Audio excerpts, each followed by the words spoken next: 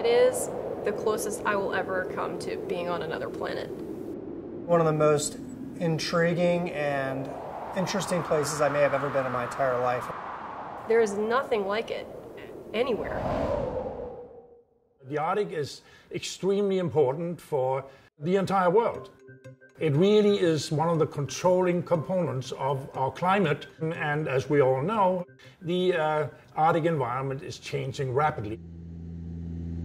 ICEX stands for Ice Exercise. It's conducted usually about 150 to 200 nautical miles north of Prudhoe Bay, Alaska, and the Beaufort Sea. And the big piece is to gain experience for both the military as well as for the science community to come and understand what's happening in the Arctic environment so that we have some sense of the impacts of global warming and what to anticipate moving forward. The Arctic environment is probably one of the most challenging places to exist as a human being. When you walk outside, temperature ranges from like minus 80 degrees to maybe minus 24 degrees. Going anywhere outside in the Arctic is a life or death scenario, and you can't joke about it. The equipment has already arrived. It's shipped out there before we get there.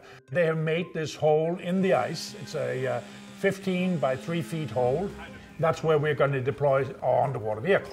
When you're trying to understand a phenomenon such as the oceanography in the Arctic, you have to map the properties of the ocean temperature, salinity, currents in different points in space and in different points in time.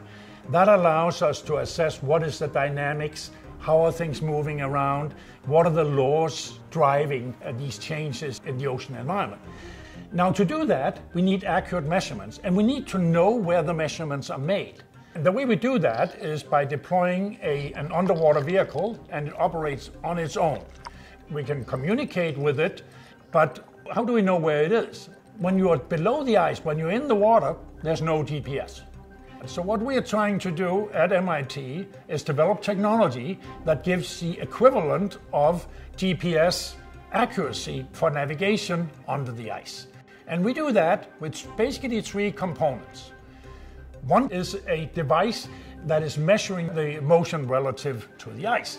The second one is the underwater vehicle is transmitting a sound impulse out into the ocean and that is received by four receivers hanging from the ice. When we look at the relative travel times from the vehicle to these various receivers, we can make a computation of where the vehicle actually was when it sent the message.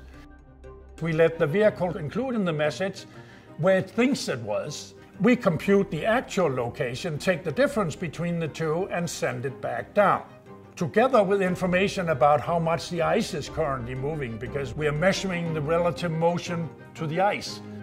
The third component is understanding the environment. So, what we are doing is we're using our measurement of salinity, temperature to identify where we should be in the water column to get the best possible navigation information. And by putting those together, we can uh, get very accurate navigation solutions. It was crucial during those first few days to make sure that everything was working correctly. We're not going to send the vehicle out to do the autonomous portions unless we're absolutely sure that it's going to work correctly as designed.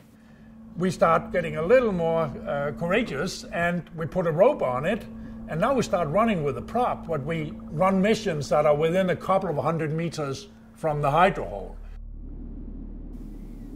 So at about day three, we got a warning that maybe there would be some evacuation level weather issues coming up in the next couple of days.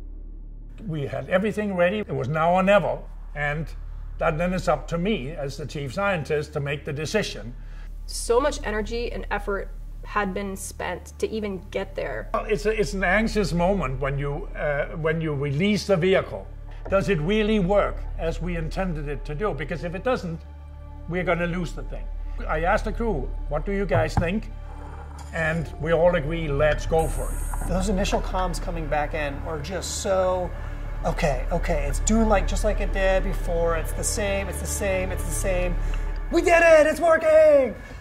And we knew that that concept we had been developed and which was the main objective, that it actually worked. Everything was looking beautiful, the vehicle's on its way home, and it suddenly just stopped. That moment when that, I, I don't even want to say it because that was such a bummer, and we had a storm coming in the next day. One of the computers basically was saying that there was a fault and it caused the tail cone to actually override and stop. Losing a vehicle like that, it's really irreplaceable. Uh, even more importantly, the data that proved that our concept worked would have been lost. So at, at, the, at the moment, we knew that the vehicle was sitting under the ice and we could not restart it. But the vehicle was still acoustically communicating with the modems, so we were able to know exactly where the vehicle was. But there was not enough time for uh, recovering it. They told us, sorry, you've got two hours and then you have to be getting off the ice.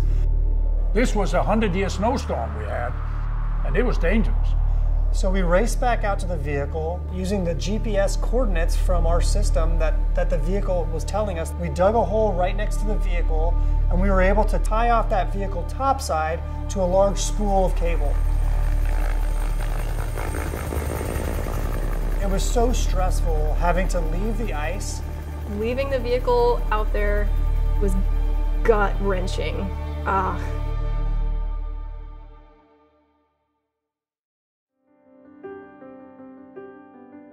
Took about three days from when we were evacuated to we were actually able to have people back into camp. With that large storm that came through and the amount of time that passed, the ice had moved a substantial amount. But when we returned to the ice, we were able to very easily find that spool of, of cable that was topside on the ice and go from there, follow the line down into the through the ice, and the vehicle was still present. The fact that we were able to use that initial GPS position so accurately to go drill a hole and, and tie off that vehicle, there was instantaneous satisfaction. We were spot on. It was exactly where we left it because the navigation system was so good. We achieved what we came up there for. We got the data. The whole five days was just one big wild ride.